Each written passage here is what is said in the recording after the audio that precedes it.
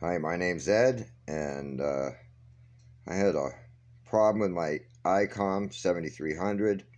I had low power average single sideband. Now, what I did to get around this was I went into the service menu, and as it shows here, you can get this online. A shunt plug to the remote jack. Hold down the menu and function switch buttons and turn the power on. So what I did in the back here is the uh, shunt plug, the remote switch. I just used a set of headphones that I had. I had done it the other way before, but I found that the headphones work just fine.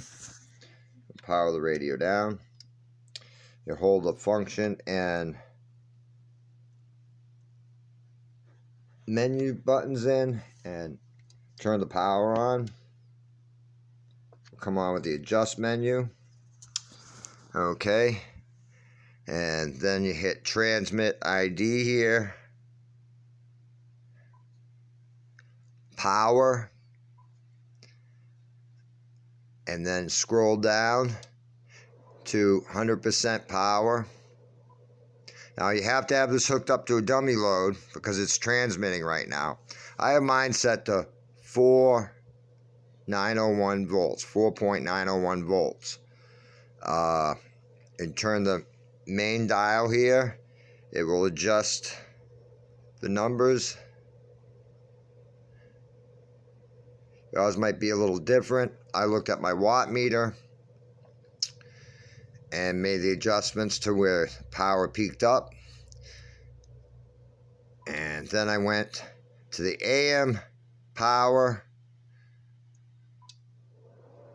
and I adjusted that back down to 25 watts because we'll be putting, oh, well, you have to hit set and exit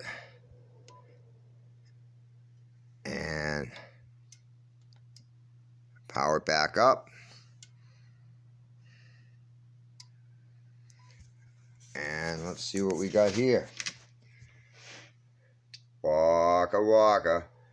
That's on the uh, 1000 watt scale. Uh, 100 watt scale. Hello. Uh, audio. But if you see, if you put it on RTTY, it is putting out quite a bit. I haven't had an issue with this. I ran a contest. I do net control.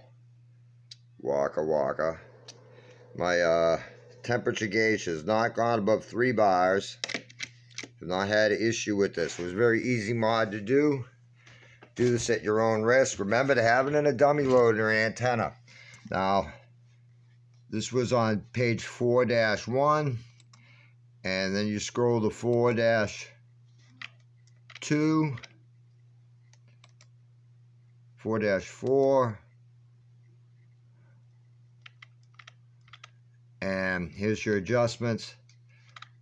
It says line 7 HF power 100% and then your AM power set at 25 watts. The uh, service menu is downloadable very easy mod, no soldering, nothing, and I haven't had any issues with it. But do this at your own risk.